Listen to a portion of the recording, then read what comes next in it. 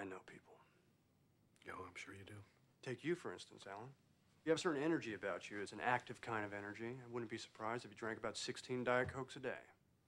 You're an excellent father, but you feel guilty about the time you spend away from home.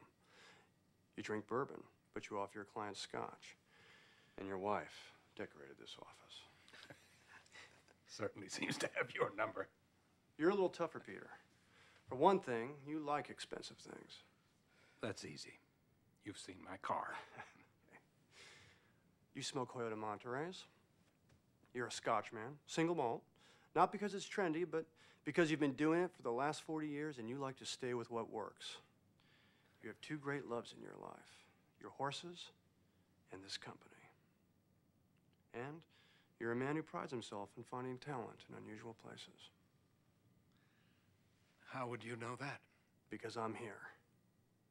I'm prepared to do whatever it takes to get this job. I'll start wherever I have to start. I'll park cars if I have to. The biggest part of judging character is knowing yourself, and I know this. I can do this job. I can. Give me a chance, Peter. I won't let you down.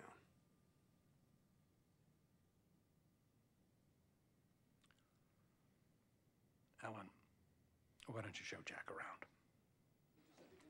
This is our war room. We did seven major deals in here last year, three of them hostile. Seven. Yeah. You got a kind of a feeling, you know, from a. Can we cut this shit here for a minute? What did you do? Why did you get that information? Did you go through his wallet? Did you surf some net?